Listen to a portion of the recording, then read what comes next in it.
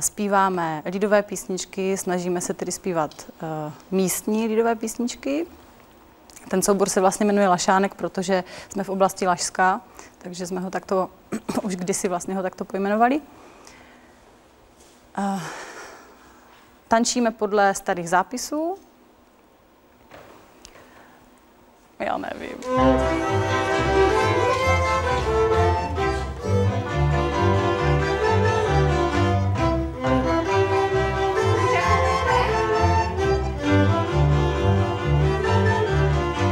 Naše obec je v podstatě stejná jak mnoho jiných obcí, obcí v okolí. Zvláštní je tím, že na obci se vypíná ehm, kopec, na kterém je jeden z největších eh, moravských hradů. To je zvláštnost, kolem je eh, obora, která má zhruba 450 hektarů. V obci je eh, památník našeho nejslavnějšího rodáka Leoše Janáčka, který nadace Leoše Janáčka dva roky zpátky zrekonstruovala.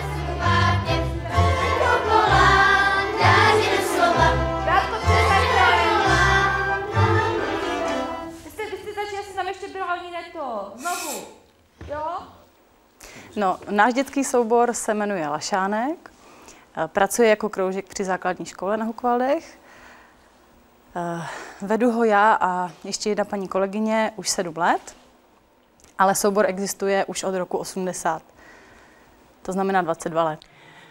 Eh, tato mladá dechová hudba vznikla 19. září 1999 z podnětu tří žáků této školy, byl to Honzik Mareš, Holub a ještě jeden, už si nespomínám, který to byl.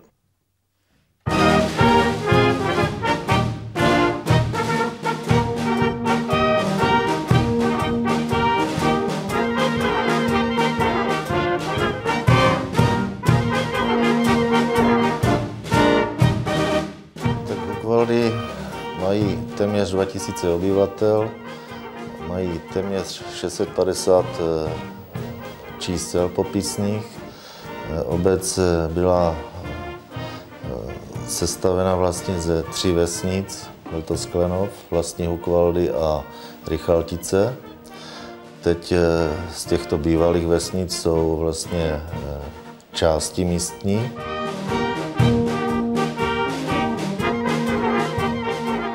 Můj otec při té službě lesníka víte, taky dělal zpravce hradů až do roku 42. No a my jsme v tom hradě vlastně bydleli a to tak, že na zimu jsme se stěhovali z hradu dolů do takzvaného sídliště Hřebčín, a na léto zase jsme se stěhovali na ten hrad, takže já jsem de facto na tom hradě vyrost a z toho hradu jsem chodil do školy.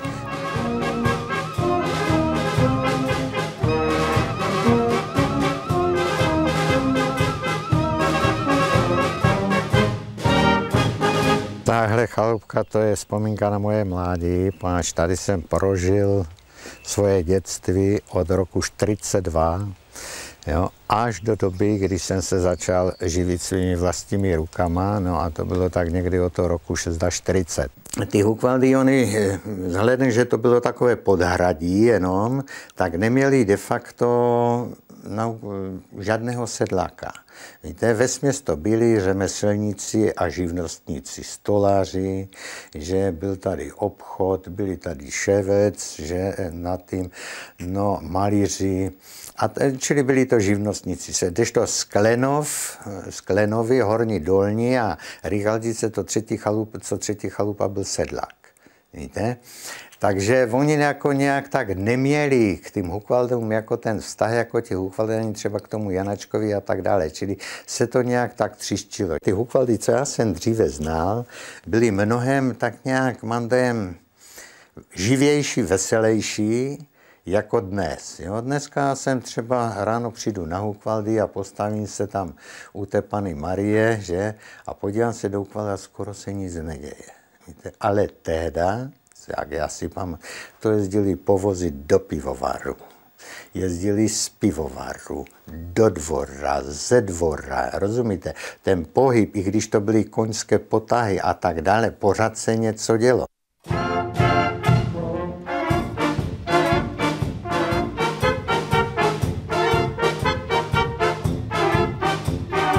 Ta sezonost v podstatě byla i dříve, ale lepší to bylo v tom, že v podstatě k té mladší historii Hukvald patřil Hukvarský, Hukvaldský hotel, který, který v podstatě fungoval celoročně a eh, ten zdroj těch turistů eh, se rekrutoval vlastně z těch hostů toho, toho Hukvalského hotelu.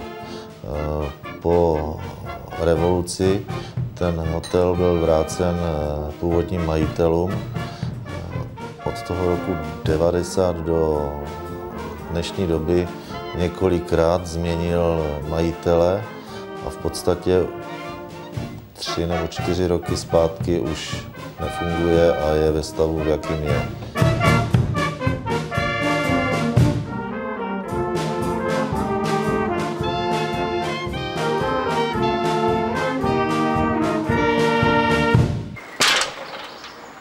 Dřívější době ty Hukvaldy byly tak nějak veselější a ty lidské vztahy na tím venkovně byly úplně jiné, protože vente si neexistovaly žádné supermarkety, nic takového. Ti lidé chodili v místě, chodili k tému židovi anebo k tomu e, do toho obchudku, kde se scházeli, nebo i v té, kde si vyměňovali názory, navzájem si šli pomoct, jak to třeba viděl tam, včera vozil jsem dřevo, no tak sousedé přišli a šli mi pomoct do toho. Čili ty vztahy byly takové. Jo?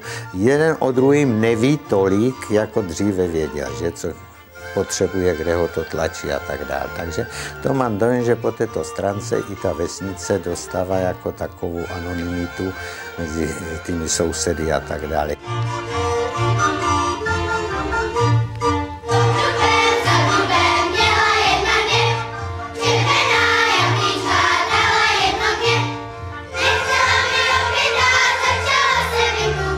To byl biskup, eh, eh, biskup Prusínovský, který dostal darem od císaře Maximiliána II. darem 20 kusů dančí zvěře. To můžu na začátku říct. Takže hukvalská obora patří k nejstarším oborám v českých zemích od svého vzniku až po dnešek, to znamená, že byla v provozu po celou tuto dobu. V minulosti samozřejmě zvěř a vůbec jako obora sloužila gradovánkám tehdejších majitelů, jednak teda k lovu a jednak teda k zásobování masem.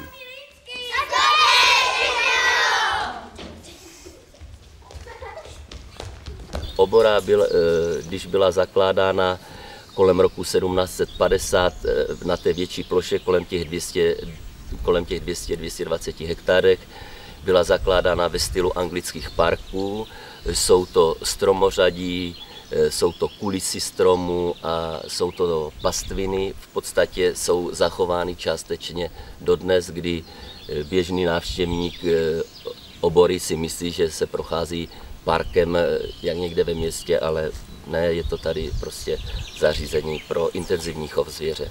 Celé tady ty stromořadí a některé stromy v nich určitě mají dneska těch 250, eh, možná i více let, protože ty stromořadí a ty aleje byly zakládány kolem roku 1750, ale určitě může být některý strom i starší.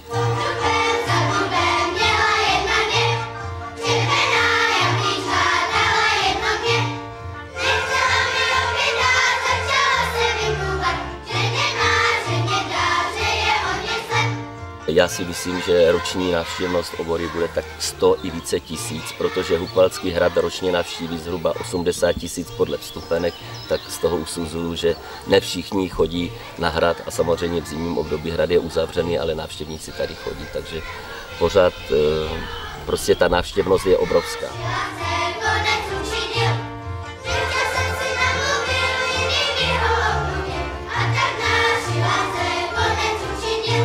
Mnozí si myslí, že je tady solidní turistický ruch a že spousta lidí eh, se živí eh, těmi turisty, ale ono to tak docela pravda není. Eh, v podstatě půlka roku od doby, když to vemu, když kvetou kaštany, začnou kvést kaštany, to je nějak začátkem května až do tak konce prázdnin, do půlky září. Je tady velice čilo, to Hukvaldy jsou plné lidí a turistů.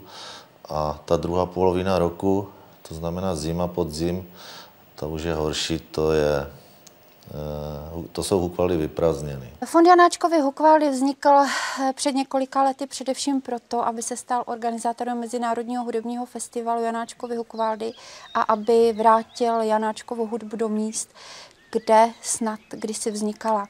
Mezitím se samozřejmě činnost fondu Janáčkovy hukvaldy rozrostla, takže v této chvíli nebo v této fázi, kromě pořádání Eh, Mezinárodního, eh, Mezinárodního hudebního festivalu provozujeme Hrad Hukvaldy již třetí rok. Eh, co to znamená pro obec? Domnívám se, že trošku víc práce, protože návštěvnost na hradě je velmi hezká a návštěvníci si zvykli chodit za produkcemi na hrad Hukvaldy. Co to znamená pro nás? Trochu víc starostí, než jsme původně předpokládali, ale i jakési zadosti učinění a příjemný pocit.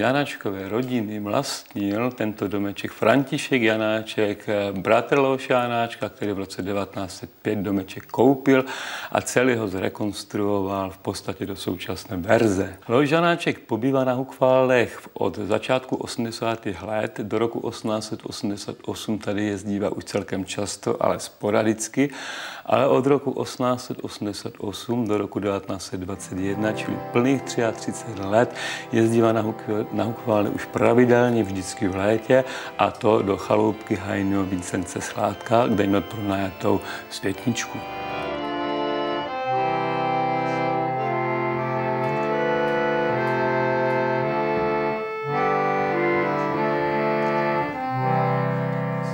již od doby Vejvanovského přes Leoše Janačka a pak rodiny Reku, Návratu, Míčaníku Prostě ty rodiny tady žily hudbou a myslíme si, že i jejich děti, jejich potomci současní se taky touto hudbou věnují.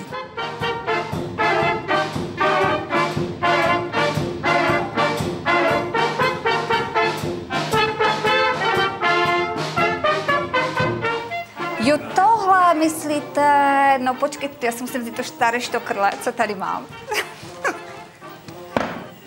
Ale já to teď přepnu.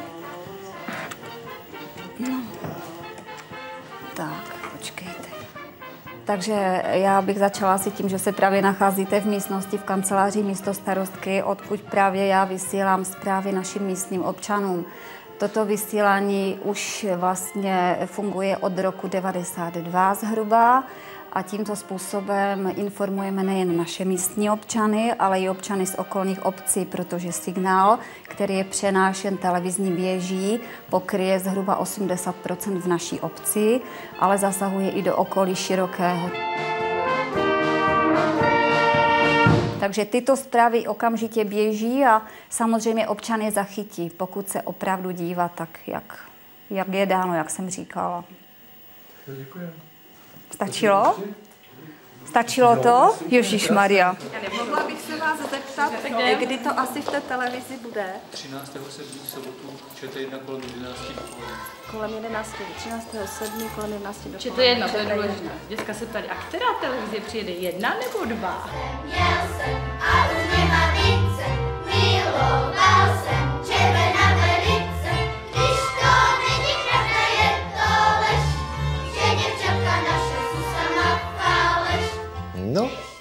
jsem starostou? Já jsem starostou jenom rok.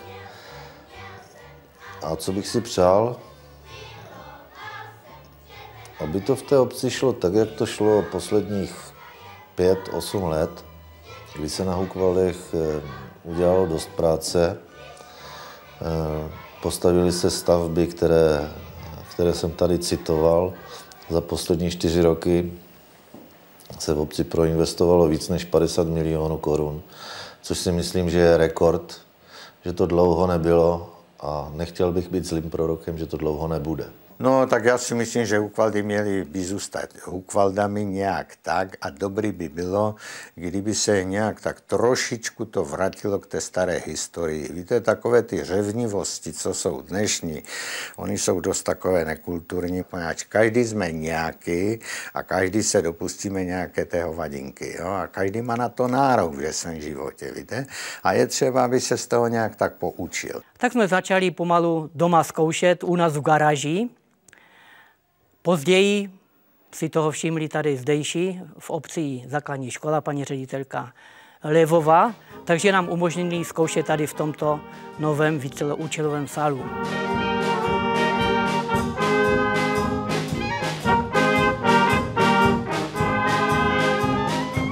Či jsou hukvaldy? Jsem říkal, hukvaldy, hukvaldy jako takové patří církvi. do, vyřízení, do vyřízení restituce. Ne, hukvaldy jsou těch lidí, kteří tady bydlí.